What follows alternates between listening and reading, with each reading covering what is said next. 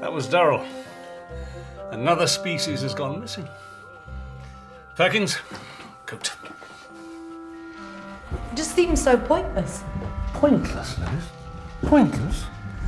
Durrell Wildlife Conservation Trust saves many threatened species in many threatened areas. Is that pointless? I meant us, sir. There really doesn't seem to be much we can do. That is true. Of course, if you really wanted to help, you could always die. Sir?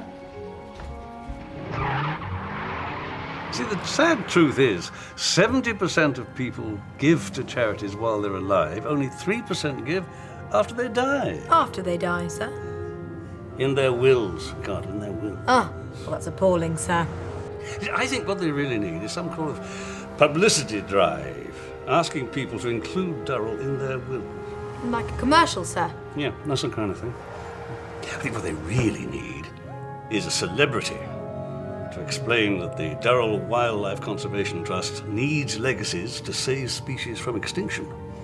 Death and money, though, Carter. Sir? Death and money. Great British taboos. Nobody wants to talk about that. Uh, celebrities, you mean? Yeah, exactly. And you'd have to get a very big name. I mean, something very famous, dependable. Someone that people know and trust. Mm, exactly. Like a policeman. Off the telly. It doesn't need to be. But now you come to mention it. Yeah, but to have your face linked to death and money, you have to be very far gone. So far over the hill, the very fag end of your career, to be desperate for any kind of publicity. I don't know about that, sir. Well, do you think would do it then?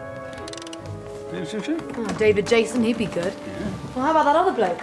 You know, the one from Midsomer Murders. Who's that then? Oh, he's done Bergerac before, a bit of Shakespeare in his spare time. Takes himself very seriously. Don't know. him. What about Robbie Coltrane? Please help save species from extinction by leaving a gift to the Durrell Wildlife Conservation Trust in your will. Once you've provided for your loved ones, a gift of any value will make a difference. Thank you.